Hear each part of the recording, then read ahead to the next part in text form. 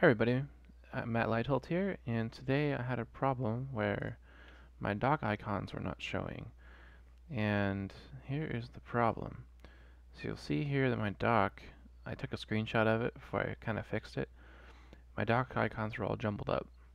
Alright, and I tried restarting my computer, it didn't really change it too much. Um, obviously not normal, so here is what I did. So I got most of them back already, but I decided to stop and make a video about how I got them back before I fixed all of them.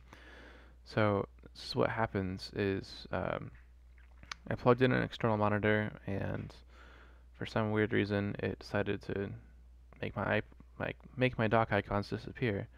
So what I did is so like right here I'd have disk utility so I just take that and drag it off here in the distance I go to applications and utilities and disk utility, drag it back. Pretty easy fix, uh, not ideal, but it is what it is. Um, so yeah, just uh, grab your app. So we're looking for maps right now. There it is. Okay, so let's drag maps down in, have it open.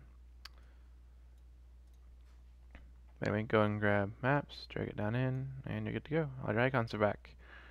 Quick, easy fix. Hope you hope it helped you.